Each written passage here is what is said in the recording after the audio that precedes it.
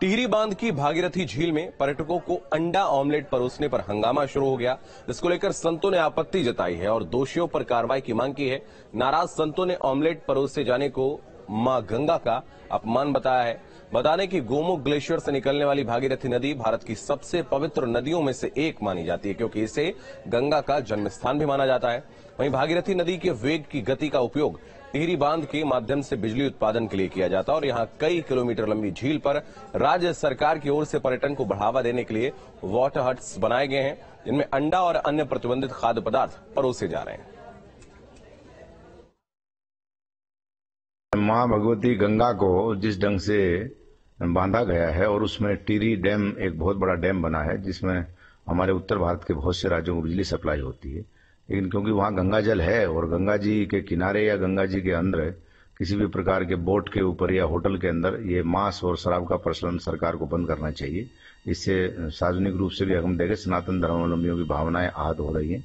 तो मेरा आपके चैनल के माध्यम से राज्य सरकार से ये आग्रह है कि इस पर तत्काल कार्रवाई करें और इस प्रकार के जो अभक्ष्य पदार्थ हैं उसके सेवन पर प्रतिबंध लगाना चाहिए।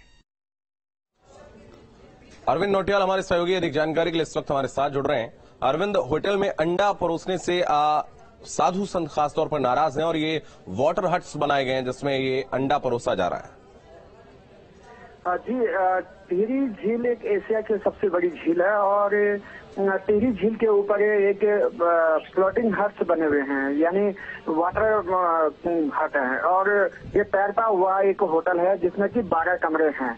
और बारह कमरे और यहाँ पर देश विदेश के पर्यटक यहाँ पर आते हैं और साथ ही आपको बता दो कि जो ये फ्लोटिंग हट्स है इस पर पहले भी कार्रवाई हुई थी और क्योंकि मलमूत्र वगैरह जो इत्यादि गंदगी थी, वो टिहरी झील में उड़ेला जा रहा था और इसको लेकर भी ये काफ़ी विवादों में रहा। लेकिन आश्चर्य की बात है कि जो इसका संचालन करने वाली लिरोई कंपनी है, वो अपनी मनमानी करती आ रही है और वीडियो आप देख रहे हैं कि किस तरह से भगीरथी गंगा के ऊपर खुले आम फ्लोटिंग हट के ऊपर किचन लगाया गया है और किचन में अंडा बनाया जा रहा है, जो कि साफ़ साफ़ धार्मिक आस्था को चोट पहुँचाने का काम कर रही है।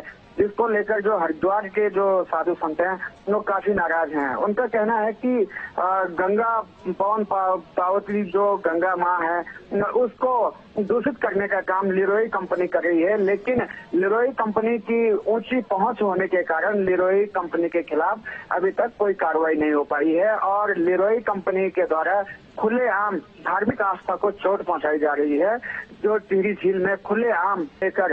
अब, जो स्थानीय लोग हैं, उन्होंने भी विरोध करना शुरू कर दिया है। और उनका कहना है कि अब स्थानीय प्रशासन के पास जाकर